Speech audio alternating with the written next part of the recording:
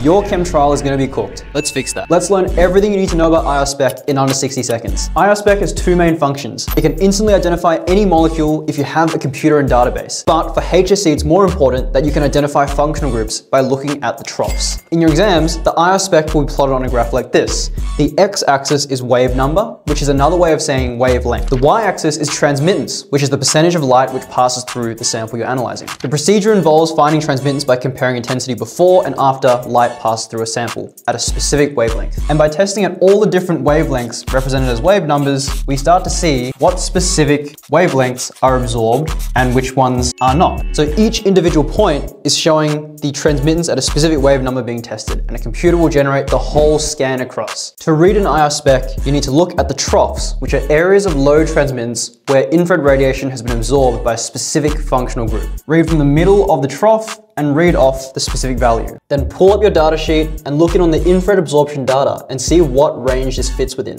As this is about 2,700, it could either be a CH or an OH from an acid. Finally, we look at whether this is broad or narrow, and if you ask me, this looks pretty broad. So that confirms in this molecule, we have a hydroxyl from an acid. And to score full marks, you'll describe it like this in your exam. If that made sense, tell us what this trough and this trough are down in the comments below, and name the overall functional group of this molecule given this IR spec. To finish off, the main drawback from IR spec is without a computer or database, you cannot figure out the exact size or structure of your molecule. You need a computer or all you can find out is the functional groups that are present. So if your chem trial is coming up, save this for later and vote in the comments down below for which spectra you'd like to see next.